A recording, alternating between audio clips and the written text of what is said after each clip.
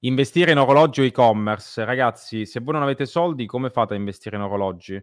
Ragazzi, non fatemi sentire che mo, sto parlando un po' di orologi nel mio canale, vi presenterò a- altri orologi che ho comprato. Ho speso 700.000 euro negli ultimi mesi, ve li presenterò gli altri che ho comprato, però una cosa che dovete capire, l'orologio è proprio l'ultimo step, cioè proprio la, io tre anni fa non ci pensavo neanche, quando guadagnavo so, anche 100k al mese, ma non ci pensavo agli orologi. Avvengono dopo, prima ci sono tutta una serie di altri investimenti sui tuoi e-commerce, poi quando hai 100k stabili al mese, hai dei brand, sei già diversificato, allora dici, cazzo, ho un patrimonio di ma anche un milione di euro, come posso metterlo anche in qualcosa di fisico che, che potrebbe, anche perché ragazzi, attenzione che gli orologi sono molto speculativi, cioè mh, sono speculativi, io non ve lo nascondo. Per oggigiorno io in patrimonio di orologi ho 1.300.000 euro all'incirca.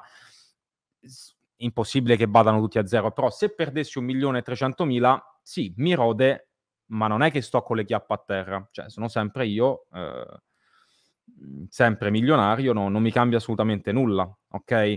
Sento della gente ultimamente, no, ho investito su un day just, eh, sono risicato con... Sei un coglione